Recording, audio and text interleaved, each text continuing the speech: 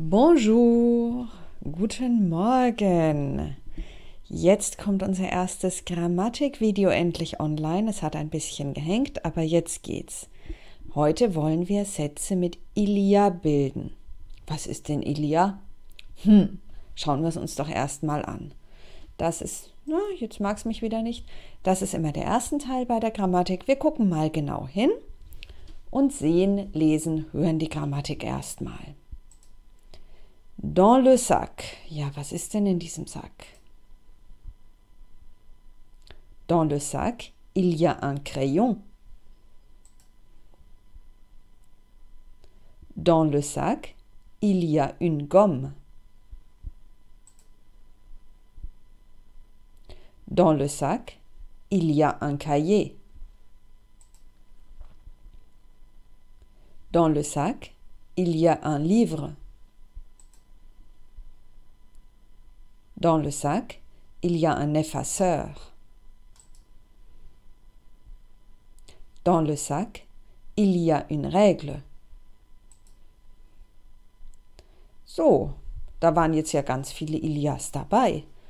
Wenn du sie nicht gesehen hast, spul nochmal zurück, schau sie dir nochmal an. In jedem Satz kam Ilia vor. Hm, was hat's jetzt damit auf sich? Was wir gemacht haben, war, wir haben gesagt, was alles in dieser Tasche drin ist. Das waren unsere Sätze mit Dans le sac il y a. Das heißt, wenn wir jetzt unser Lineal als Beispiel nehmen, Dans le sac il y a une règle. Ich habe es jetzt hier schon mal mit Abständen geschrieben. Wir haben ganz vorne, hier, in der Tasche, dans le sac. Ganz hinten ist auch klar, une règle, ein Lineal. Das heißt, das in der Mitte hier, das heißt übersetzt ganz offensichtlich befindet sich. Im Deutschen würden wir einfach ist nehmen. In der Tasche ist ein Lineal. Die Franzosen machen das etwas umständlicher. In der Tasche befindet sich ein Lineal.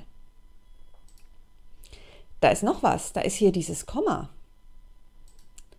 Das Komma sagt uns, das da vorne muss irgendwie im Französischen besonders sein. Was ist da besonders? Da steht vorne der Ort. Und daran hängt es alles. Deswegen brauchen wir das hier. Da wird es noch mehr Regeln geben. Da werdet ihr mit diesem Elia noch bestimmt drei, vier Jahre immer mal wieder was Neues lernen. Für jetzt reicht uns das. Der Ort steht vorne, also brauchen wir Elia. Gecheckt? Schauen wir also. In der Tasche ist ein Radiergummi. Wie sagen wir das? Die Tasche steht vorne, also dans le sac, il y a une gomme. In der Tasche ist ein Buch. Ei, muss ja dann genauso gehen. Dans le sac, il y a un livre. So, dann werden wir doch mal kreativ. In der Schule sind zwei Lehrerinnen. Irgendjemand wird schon dort sein. Wir Lehrer können ja noch rein. In der Schule.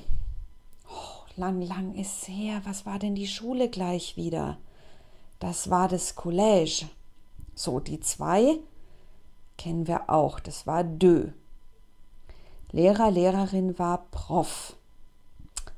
Was machen wir jetzt mit dem sind?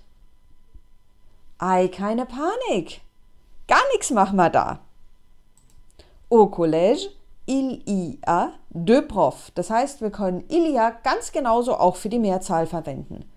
Das ist ein Ausdruck und nur den einen müssen wir lernen. Das ist doch mal praktisch, oder?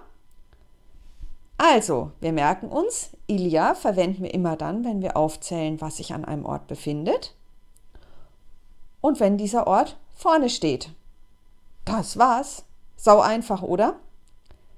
Um das gleich mal zu üben, könnt ihr in eurem Buch auf der Seite, Blätter, Blätter, Blätter, auf der Seite 37 die Übung 1 angucken. Die Übung 2 können diejenigen von euch machen, die die CD haben. Da schaue ich aber nachher nochmal nach, ob ihr da eventuell auch äh, den Webcode nutzen könnt. Ich wünsche euch auf jeden Fall viel Erfolg und ja, viel Spaß beim Lernen mit den Videos.